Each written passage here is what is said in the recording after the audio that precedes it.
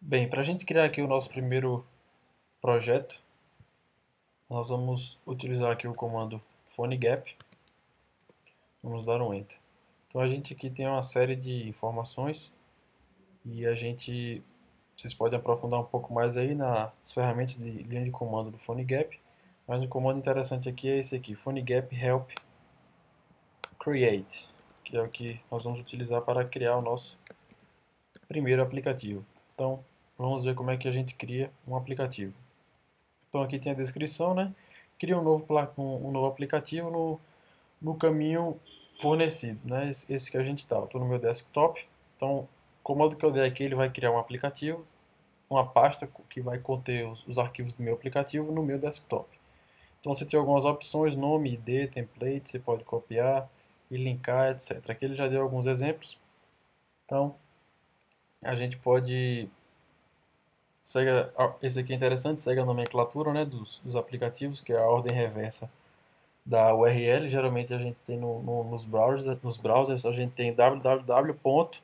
o nome do sua, da sua empresa ou do seu, do seu site.com. Aqui, o desenvolvimento de aplicativos aqui para Android segue a ordem reversa. Você coloca com, mesmo que você não tenha o, o, o domínio registrado, é de costume colocar dessa maneira, com.com exemplo.app, por exemplo. Né? Então, eu vou seguir aqui um exemplo para criar um aplicativo bem simples para para auxiliar as pessoas a verificarem como, como que estão suas, suas plantações, por exemplo. Um aplicativo bem, bem simples. Então, PhoneGap, Create, eu vou colocar aqui ponto, que é o, o diretório corrente que eu estou.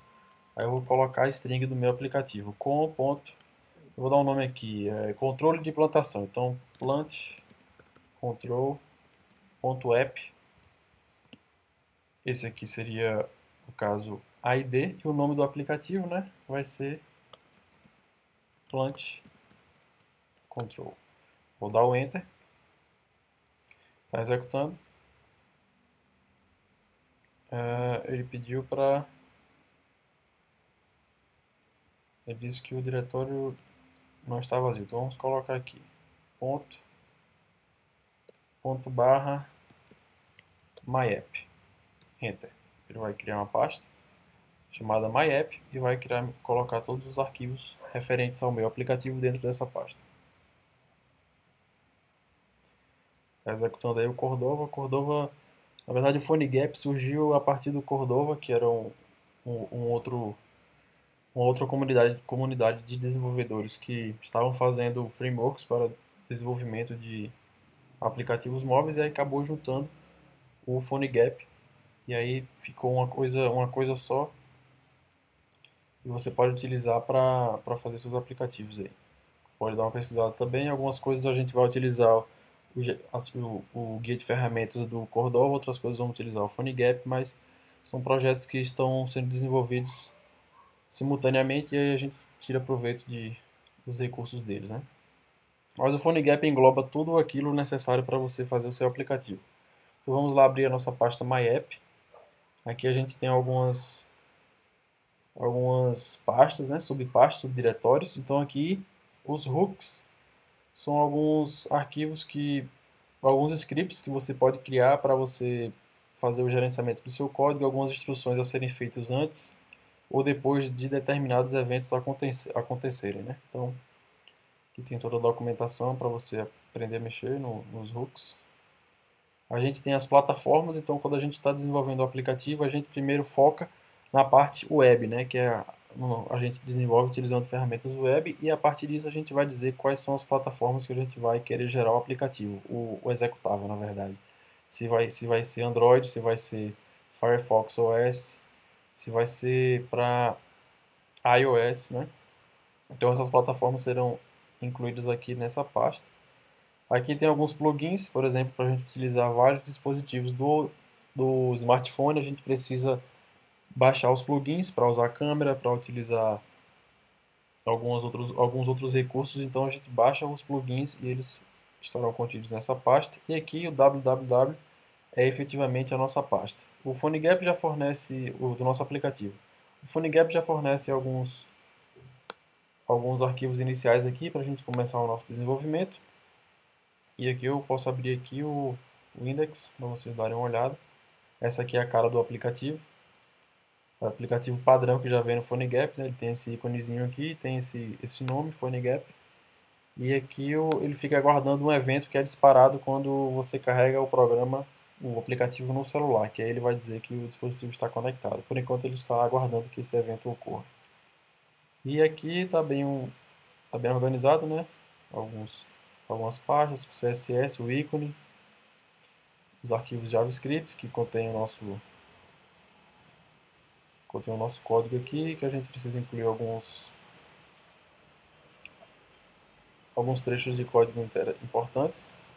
Aqui eu vou abrir o index só para vocês terem uma, uma ideia de como que, como que é aqui.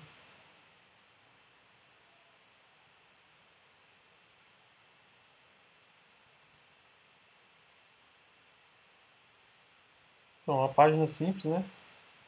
Parte mais parte mais utilizada aqui assim de, de diferente seria a inclusão do arquivo cordova.js e o, o arquivo JS aqui dentro da index.js que se encontra na pasta JS. Então esse aqui tem o nosso aplicativo que está definido e ele apenas chama um método chamado initialize, que vai inicializar o nosso aplicativo. Então a gente vai a gente vai aprofundar um pouco mais nisso aí, vamos, vamos ver alguns frameworks que, que são, serão úteis para fazer o desenvolvimento do aplicativo. E aqui eu vou abrir o arquivo, né, o index, para vocês darem uma olhada.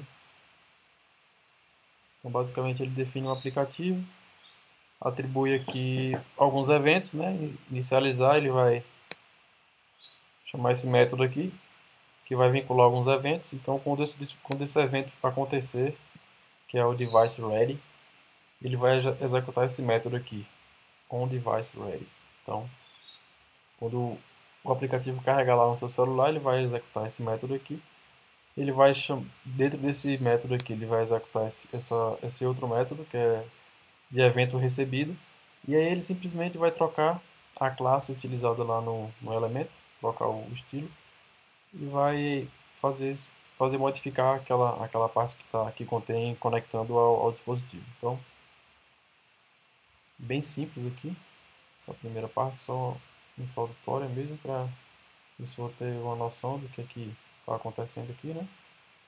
Com phone gap, então quando ele ele troca a classe, quando ele estiver escutando aparece isso aqui, conectando ao dispositivo, quando ele receber vai aparecer esse aqui, dispositivo está pronto. Devices ready. Aqui tem um, um, um CSSzinho para mudar as cores e uns efeitos só para diferenciar um arquivo do outro. Então é isso. Até a próxima. Até a próxima aula. Valeu, um abraço.